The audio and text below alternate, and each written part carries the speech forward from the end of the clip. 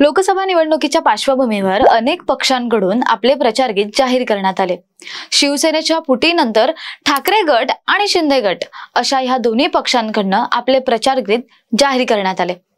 जय भवानी जय शिवाजी असा उल्लेख उद्धव ठाकरे गटाच्या प्रचारगीतात असल्याने त्यांच्यावर निवडणूक आयोगाने कारवाई केली. निवडणूक आयोगाने चोवीस एप्रिल दोन हजार चोवीस ला ठाकरे गटा गटाला नोटीस बजावली. त्यामुळे निवडणूक आयोगाची टांगती तलवार ही ठाकरे गटाच्या प्रचारगीतावर आहे. शिवसेना उद्धव बाळासाहेब ठाकरे गटाला नोटीस बजावल्यानंतर आता निवडणूक आयोगाने आम आदमी पक्षाच्या प्रचार गीतावर नोटीस बजावली आहे. लोकसभा निवडणुकीच्या प्रचारासाठी तयार करण्यात आलेल्या ह्या गीतावर निवडणूक आयोगाने आक्षेप घेतला आहे. हे प्रचार गीत आपचे आमदार दिलीप पांडे यांनी लिहिले आहे. काही दिवसांपूर्वी दिल्लीचे मुख्यमंत्री अरविंद केजरीवाल यांच्या आम आदमी पार्टीचे प्रचार गीत जाहीर झाले.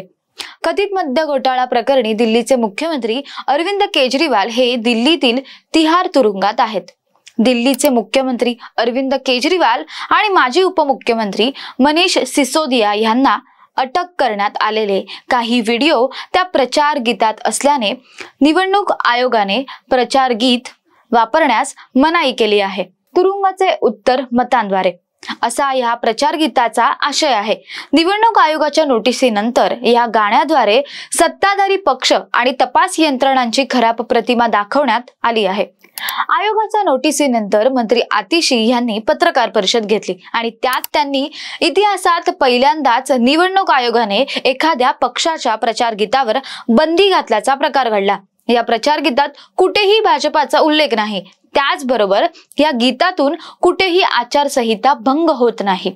भाजपाकडून झालेल्या आचारसंहिता भंगाच्या प्रकरणात निवडणूक आयोग कोणतीही कारवाई करताना दिसत नाही. ही भाजपाची हुकुमशाही आहे. या विरोधात कोणी बोलले तर ते चुकीचे ठरते. लोकशाही धोक्यात आली असल्याचे यातून दिसून येते असेही त्यांनी वक्तव्य केले.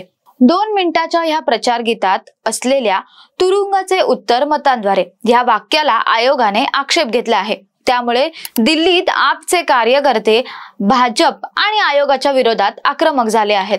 मात्र भाजपा आपल्याला हवा तसा प्रचार उघडपणे करत असताना सरकारला निवडणूक आयोगाला पुढे करून केवळ विरोधी पक्षांना प्रचारही करू द्यायचा नाही का? असा प्रश्न विचारला जात आहे.